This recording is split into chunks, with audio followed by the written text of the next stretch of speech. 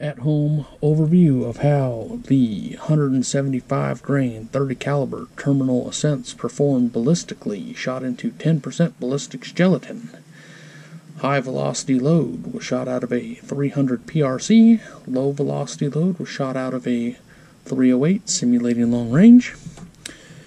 Go check out submoashooting.com you can get sample packs of bullets. When you're doing load development you can probably save yourself some money our high velocity load hit the gel at just over 3,100 feet per second. And that had a weight retention of 143.1. Our low velocity load hit just a few feet per second over 1,800 feet per second.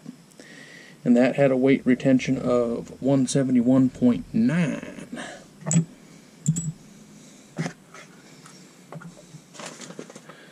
So with that uh, high velocity load, we have it opening up almost instantaneously, giving us that really good permanent wound cavity out just barely past the 10 inch mark.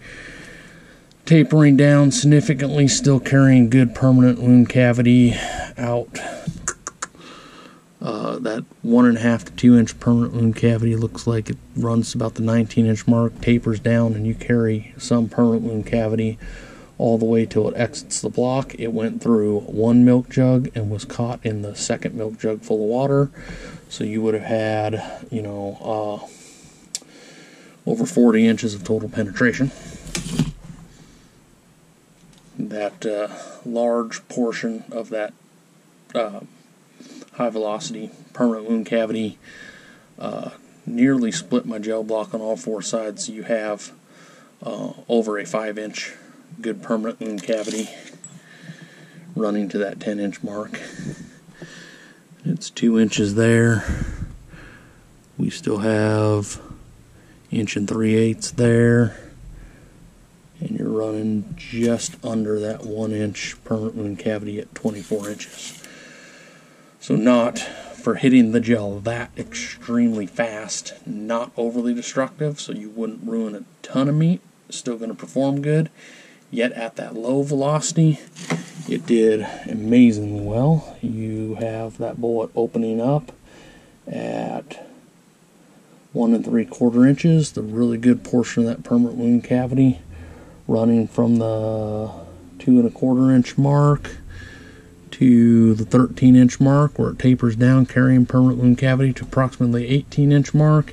And the leading edge of that bullet was 27 and a half inches. That larger portion of that permanent wound cavity here is a good two and a quarter almost two and three eighths so really good performing bullets overall. Get your little closer view here of just how that low velocity one performed. And then this high velocity.